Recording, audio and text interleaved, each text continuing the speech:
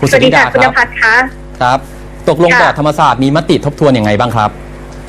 ค่ะสำหรับวันนี้เอ่อมติของคณะกรรมการบริหารมหาวิทยาลัยธรรมศาสตร์ค่ะ คือในวันนี้จะเป็นการชี้แจงจากมติเดิมให้ชัดเจนและเข้าใจตรงกันค่ะ ยืนยันว่ามหาวิทยาลัยธรรมศาสตร์ อนุญาตให้ใช้อาคารและสถานที่เพื่อแสดงความคิดเห็นตาม ที่เสรีภาพทางวิชาการได้ค่ะ แต่ว่ามีเงื่อนไขด้วยการประมาณ3-4ประการด้วยกันก็คือข้อแรกก็คือ การจัดประชุมแสดงความคิดเห็นเนี่ยจะต้องอยู่ในขอบเขตของกฎหมายค่ะ แล้วก็ผู้จัดเนี่ยผู้จัดการเสวนาจะต้องไม่ให้มีการแสดงออกในเชิงยั่วยุให้เกิดครับ ผู้บริหารมทแถลงอนุญาตให้ใช้พื้นที่มทได้นะครับ แต่ว่าก็มีข้อกำหนดประมาณ 4 ข้อ